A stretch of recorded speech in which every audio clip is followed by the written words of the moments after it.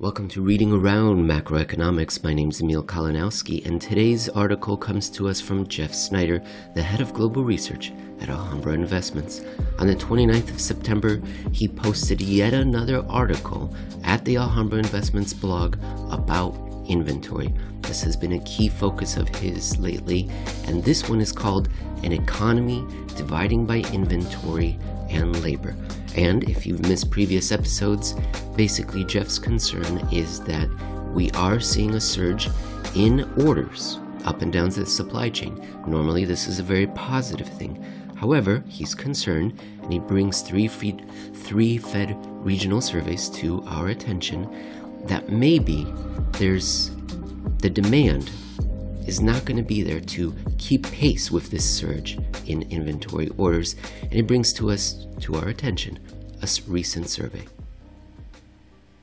Is it Delta COVID or the widely reported labor shortage?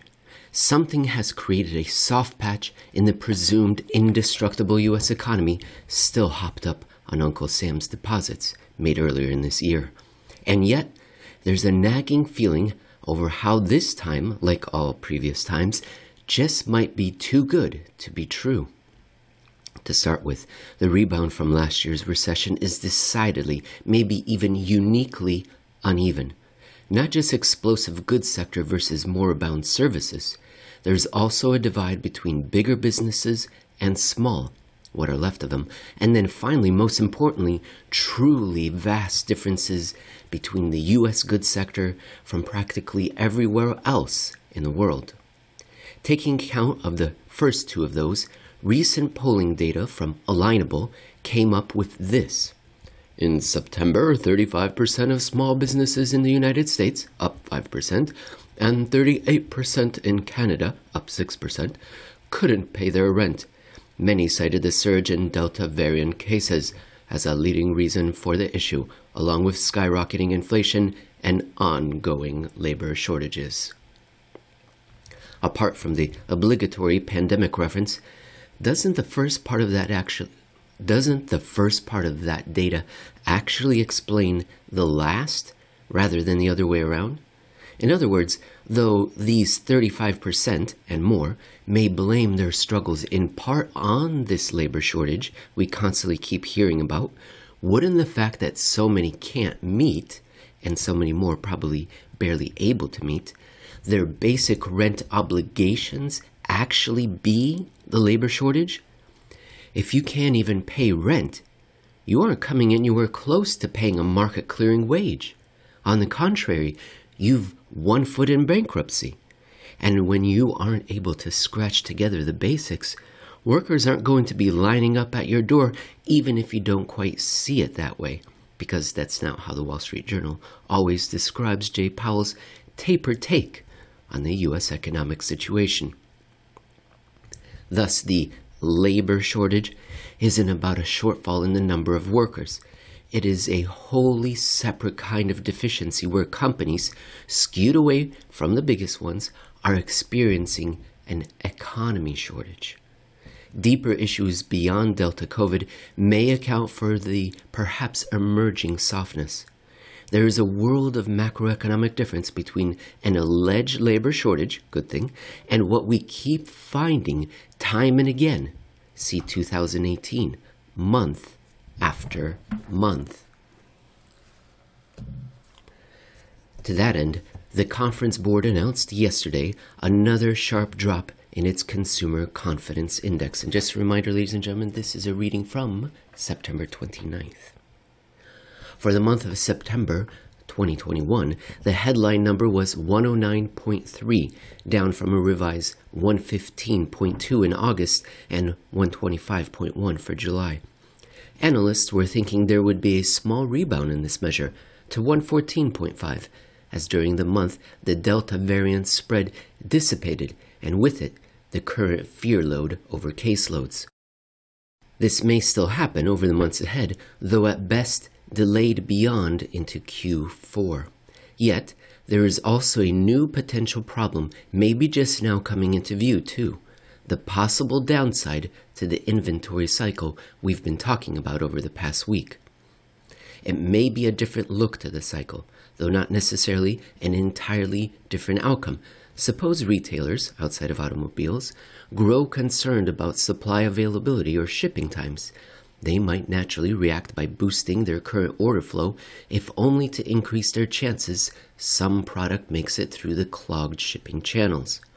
As that increased order flow, unrelated to demand, continues to move back through the supply chain, it probably would only make the transportation issues that much worse. It's already a mess, and because it's already a mess, the entire supply chain tries to stuff more goods through it rather than less, rather than giving the system some time and space to work out enough kinks. Quite simply, there is the potential, should softening demand stay too soft, that all that future inventory delivery begins to weigh on present day production levels. This is the classic business cycle as derived historically from inventory excesses. Should this begin to take place, we'd very much expect first new orders at manufacturers to slow and then contract on down the supply chain as the upper levels of that chain begin to reassess the flow of goods already in process, either being produced or, given the logistical problems, produced and en route. In the wake of changing conditions or trends not working out as anticipated. Looking around and digging through second tier data like the various Federal Reserve regional manufacturing surveys, yes, there is already the growing hint of problems in this way. Several of them, notably Richmond's Index minus 3, update from also yesterday, have similarly tanked recently. The Delta coronavirus variant, as always, is immediately singled out for excusing the softening. Yet, it's actually the new orders indices under their headlines which grab our attention. For the Fed's 5th district in Virginia, the new orders index was a meaningful minus 10 in September, which equals its 2018 landmine depth, as do the other two this month, if still on the plus side it is way, way too early to draw any kind of hard conclusions about anything. This really could just be the uncertainty of the latest pandemic wave. These could also be nothing more than idiosyncratic factors plaguing specifically these three particular regions, though that's less likely, which is why I included the three of them.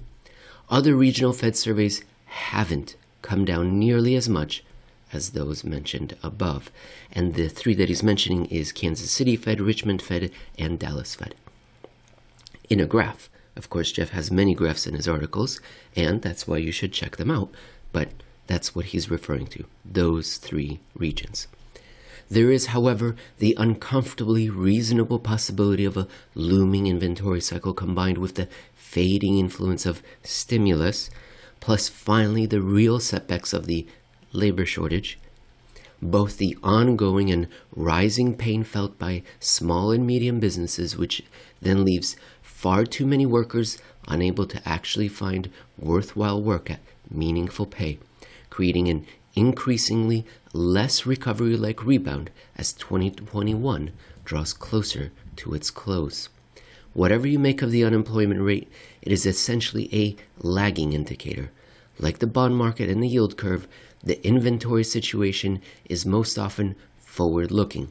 Powell and the Fed are tapering on the advice of the former, ignoring the potential of the latter in pretty much the same way as a few years ago. Not only is this too familiar, and how it can't be ruled out, the more months pass, the more familiar it all becomes, and the less we are able to disprove all this macro downside potential. That's it, ladies and gentlemen. Jeff Snider is, of course, well versed in the matters of the monetary order, shadow systems, collateral, credit, bank balance sheet capacities, but he also focuses on small e economics, such as inventory, which has been a key focus of his in his recent articles that I've been reading to you.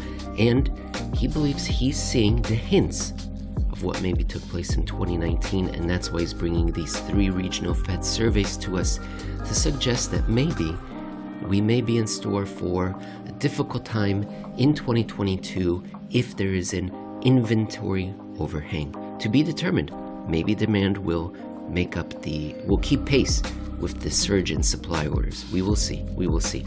This article you can find it at Alhambra Investments. It was called An Economy Dividing by Inventory and Labor, and you can find Jeff Snider on Twitter at Jeff Snider underscore AIP. Till we talk again.